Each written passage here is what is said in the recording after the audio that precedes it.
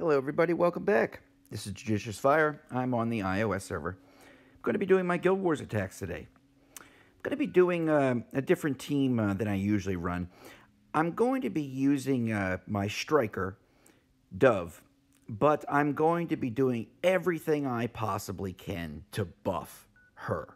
She's going to be my damage dealer. Really, everybody else is set up in such a way that they're just either trying to lay the groundwork for Dove or to support her through buffing of some kind. So, our number one uh, attacker uh, up in front is going to be Dovekeeper. I run her with critical traits. Uh, I try to get her crit rate as high as possible. Uh, I am using the new Vigorous Fury. Uh, it is fantastic for boosting that crit rate. Uh, it is only activated when the hero is strong and healthy. No problem at all. Something like a stealth requires your hero to be weak and dying. Uh, I think that's uh, a bit adverse to how one should be playing this game. It's just my opinion. Uh, you try to make your heroes strong. Vigorous Fury makes them even stronger.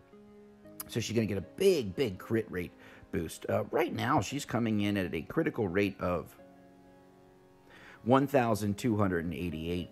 That is before the 80% boost. Uh, crit rates in this game, uh, crit is going to represent the chance that a critical hit is going to occur. A critical hit is whatever the normal damage is plus some extra. Crit damage is going to increase the damage that is caused by the critical hit. I've always found that crit, the likelihood that the crit attack is going to happen, I find that to be the most important factor. Uh, does it matter if you're doing a lot of critical damage if you don't have critical hits? No, it wouldn't. It'd be a moot point. So I try to get uh, crit up as high as possible. It's going to represent uh, every hundred is going to represent one percent chance that the crit is going to take place.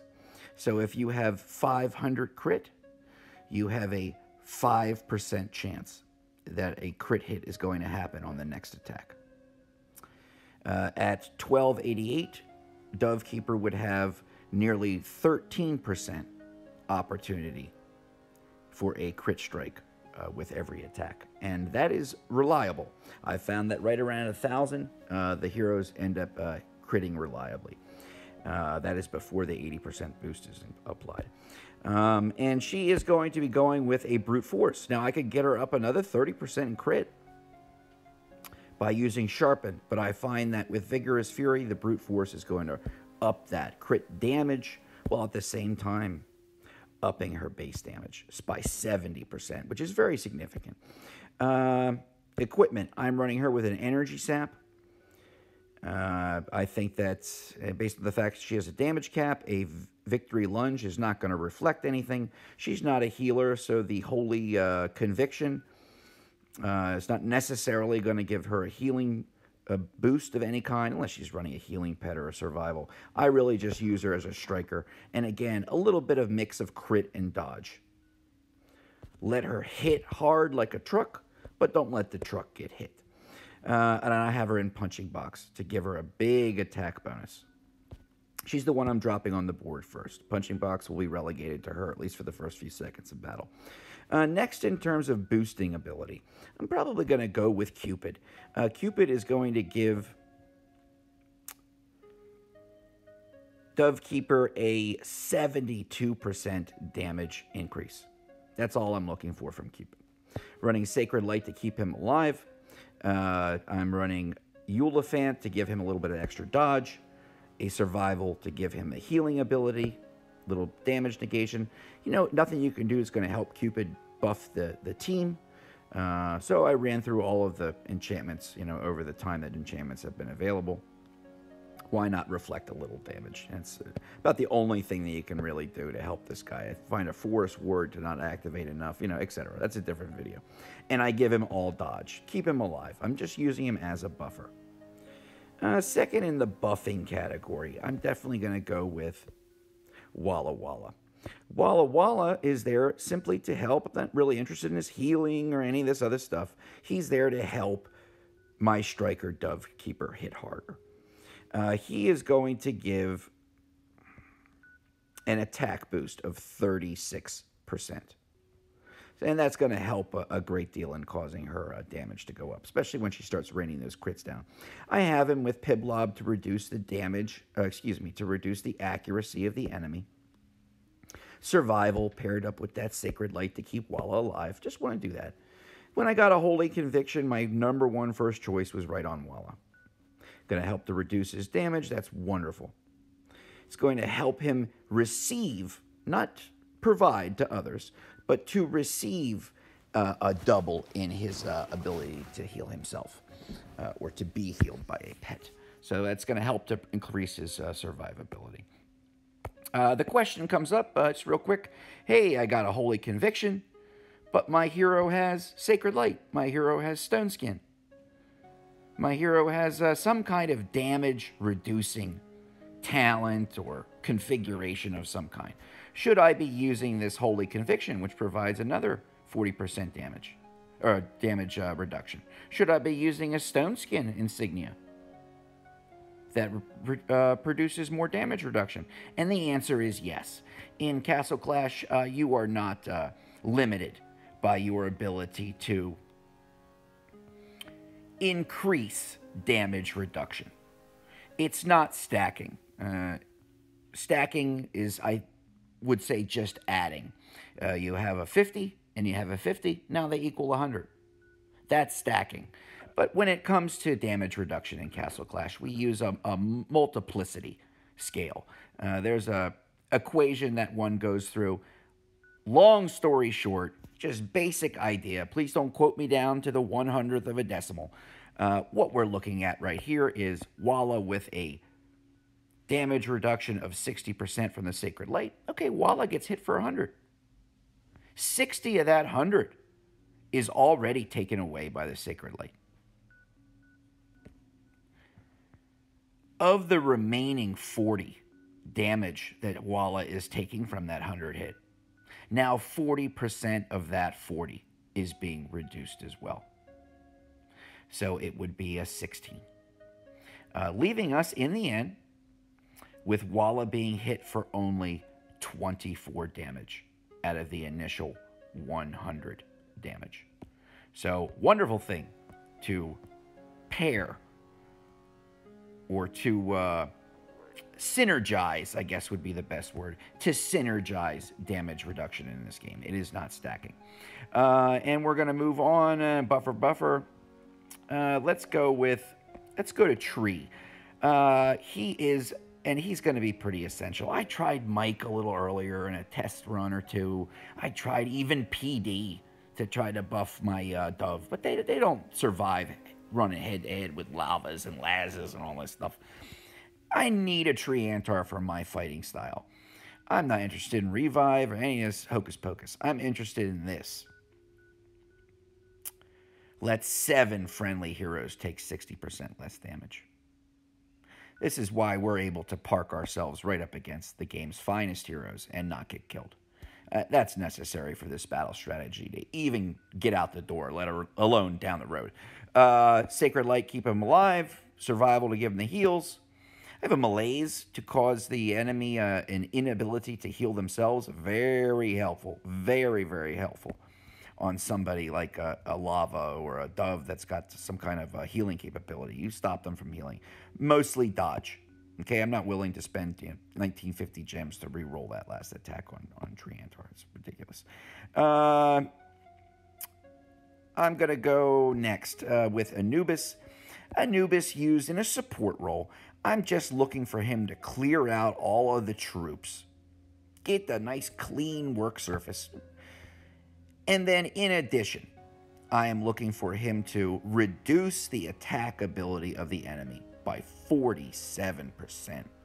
So now all of a sudden, those big bad boy heroes are doing basically half the uh, uh damage against you. That's wonderful. Uh, we've got ourselves a Pursalot to lower their energy regeneration rate.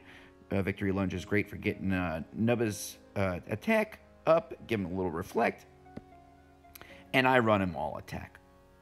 for a variety of reasons. But I, I like a high attack rate on my uh, high attack uh, ability on my uh, Anubis. And uh, lastly, I'm going to be using Ripper. And I'm using Ripper because um, I like the silencing effect that he's going to have against the enemy, uh, preventing them from using their skill. I like the anti heal that he puts out. He's going to basically be shutting down the majority of the bad guy's ability to heal. That's very important. So let my dove do her thing alongside those great buffers. Uh, Mini Angie and Sacred Light to keep him alive. Survival to give him a heal. Love Victory Lunge on him, sure. Mostly dodge. Keep him out of trouble. Okay, let's get in there. Let's see what we got. We are looking for the highest mites 650, 641. 750, 700. our last highest so far is 641.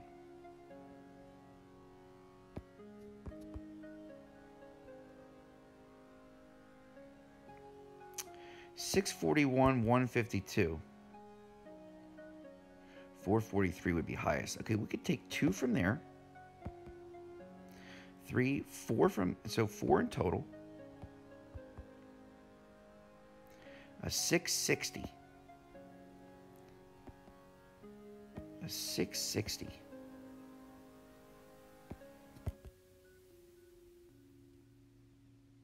Okay, let's do this. Let's take this 650 first.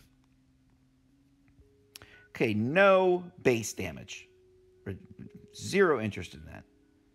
I am looking only for hero damage. I want to kill. I'll, I'll go right up against Dove. Uh, I want to uh, kill off the heroes long before, and I uh, fixed my uh, my drop order in the the order that I prefer in this attack. Uh, I want to kill off the heroes long before there's any significant base damage. Watch the heroes. Watch them disappear. We are using Dove. This is why I don't use Dove Keeper in a defensive capability. We're using her as a brick wall to generate crit hits and to snipe, if you will, the heroes out from a distance. We have only this uh, Anubis. There's zero chance that Anubis is going to do anybody any harm. Nothing against Anubis, but he has sadly been kind of relegated into a support role these days. He is not uh, what I would call a, a major damage dealer. It's one of the reasons I have a high attack on uh, Anubis, is to get his attack up there. Okay, 650 is where we were. Let's move on next to 660, then 72, 700, and 750. Very good. Okay, make sure my math was right. Now on to 660. We got a whole bunch of breakthrough 30s. It's no problem. We got another Dove Keeper. Wonderful. Let's go uh, up against Dove. Straight on till dawn. Let's get that Dove. I don't want my heroes to separate. I'm going to start again. My heroes were separating. I was worried that one group is going to go down uh, the path of smashing up uh, buildings. I'll, I'll, just, yeah, shoot, I'll just drop them all right here at the entrance. You know, say, what the heck? I will be engaging multiple heroes simultaneously, but let's just take a look at these heroes. Uh, these are breakthrough 30 heroes. Let's watch them disappear.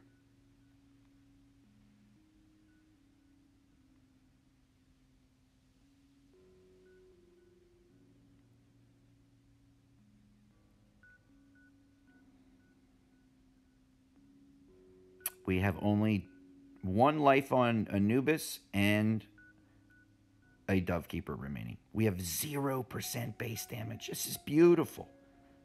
That is a work of art. We're moving up on Dovekeeper. Moment her damage cap drops, she will be immediately taken out. We have Malaise cast on her in addition. It's trouble.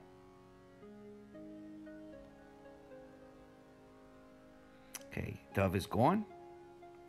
We are now just clearing the base. Uh, so this has always been my Guild Wars strategy. I talked about this at length in a in a prior Guild Wars video. I think it was the last Guild Wars video I recorded.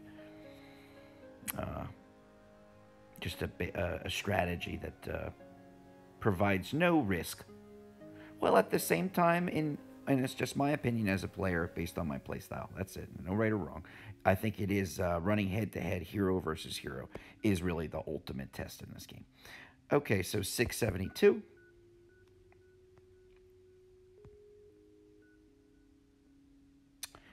Uh, we've got a um, a Cosmo. Let's trigger the Cosmo, and then we'll just drop everybody else. Bingo. I'm going to see how I do against this first Cosmo proc. Oh, Cosmo's gone. Gone. Okay, no problem. Cosmo came back. But the 60% damage reduction that Triantar gives us. My heroes don't die. I don't use Triantar as a reviver. The 60% damage reduction that he is giving us. We can stand in the center of a Cosmo proc. And it's uh, just like a sunny day. We can take a, a Dovekeeper crit hits atop our head. We say we just scratch our head and say, "What's what was that? What was that?" So it has nothing to do with the players or the heroes that I'm fighting. It has to do with reading the skill level, uh, the skill uh, description of heroes, and trying to use them together as a team in the best way possible. Uh, we're down at two. 700 and 750. Okay, we got ourselves anybody we have to be concerned with, really? Eh, not really. Uh, that's the usual fare in Castle Clash. You're going to see the same heroes on pretty much every base. And we'll drop in over here. It's fine with me. See how we do.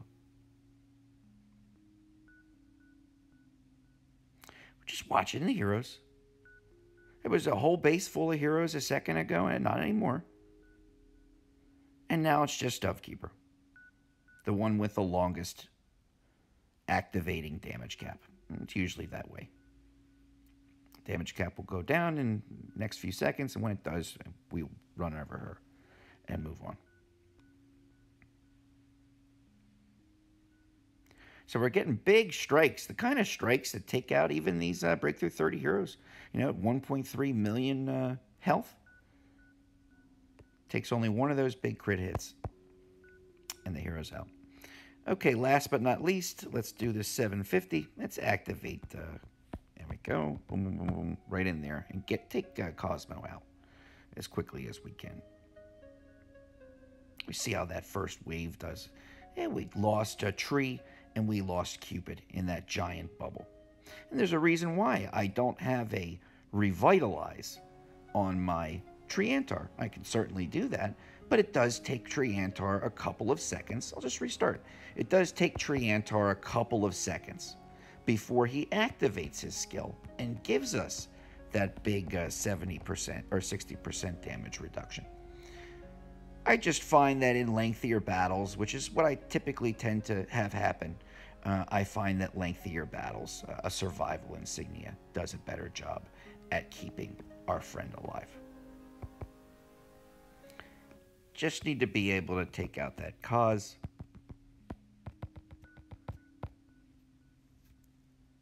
without too much trouble.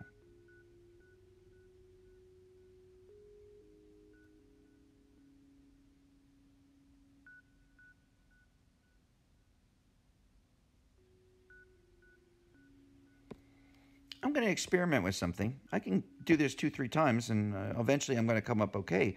But I, am just going to experiment with something, just kind of show you. I'll take the survival off. I'll show you what his damage reduction does when apply, applied immediately. Go into that uh, screen again.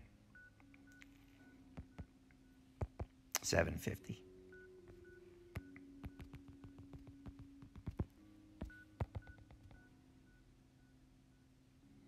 And now an immediate damage reduction from Triantar.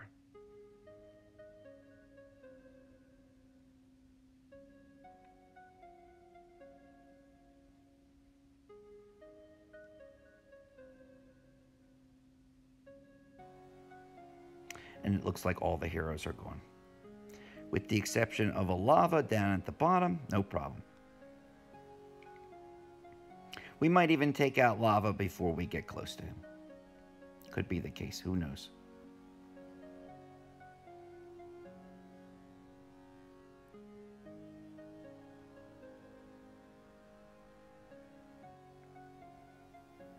sad to say it, but uh, I find, you know, lava to be a, a tough one sometimes to keep alive uh, in today's game. I, I, don't find his survivability to be survivability to be quite as good as Dovekeeper.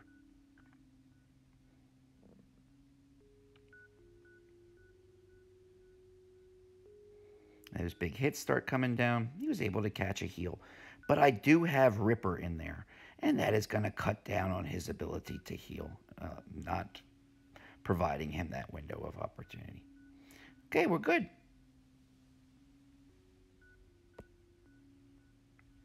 Did we do our five? Yes, we did. Broke the 13,000 mark.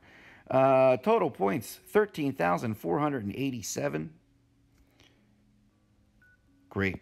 Uh, want to thank all the guilds uh, involved here on the iOS server. It's always a great day uh, in Guild Wars Day. I personally would have uh, changed Guild Wars. I've talked about this many times. Uh, I would change it around so it wasn't guild versus guild, but so we could work co cooperatively with one another. But uh, nobody ever listens to me in this game. Okay, so uh, it was great clashing alongside of you. I'll check you out on the next video, and you have a good one. All right, bye bye.